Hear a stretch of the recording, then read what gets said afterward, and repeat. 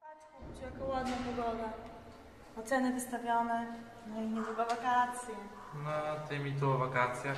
A ci się coś uczą. Ciekawe z czego. No co ty, chłopcze, oni się nie uczą, zobacz, oni wypełniają badania do konopa. Do tej najlepszej szkoły w powiecie?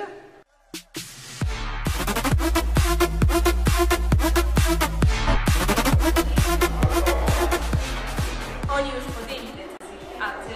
Jeśli masz jeszcze jakieś wątpliwości, gorąco zapraszamy na dni otwarte naszej szkoły. które odbędą się 20 czerwca, czyli w najbliższą środę o godzinie 9. Zapraszamy!